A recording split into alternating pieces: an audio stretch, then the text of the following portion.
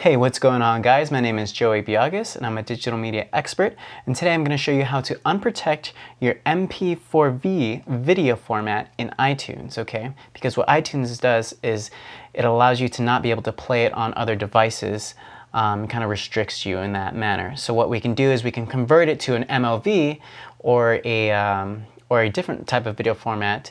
Um, so let's go ahead and do that. I have uh, my window, my Finder window here and I'm going to be using this file, which is a .mp4v. And what I'm going to do is dump this into a converter. Okay, and the converter I'm going to be using is this converter here. It's a, it's called Adobe Media Encoder. It's part of the CS Adobe Suite. All right, so let's switch back over here. And I'm just going to click and drag and drop into the media encoder. Okay, and that should take just a second here. All right, perfect. Now let's go ahead and change some of the settings to convert it. We can do that by clicking on the preset here. And that should open up the window. Perfect. Now, uh, by default, it's going to choose whatever I chose last. And last, I was using um, some H.264, and you can basically play that on anything else. So let's go ahead and use that. Okay, and I'm going to leave this on Apple iPhone, I think that's fine because I do want to play it on my iPhone. But you do have a lot of choices here if you want to convert it to um, 1080p or 720 and um, lots and lots of choices here, but I'm, I'm fine with what is presented here. And then we have the option to change the name and where we want to save the, the final product.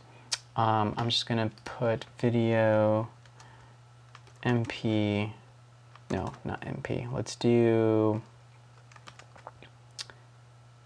um, let's just call it new format. Okay, I'm just gonna dump that on the desktop for now. Hit save at the bottom here. Awesome. And then basically I can double check the video format is incorrect.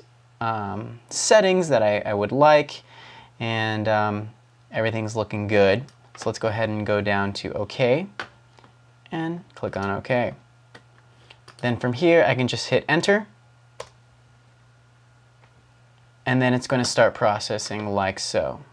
Okay, and it's going to give us a little um, status bar of the progress. So that's basically it, guys. So once that is converted, it will be placed on my desktop and it will be in a different video format.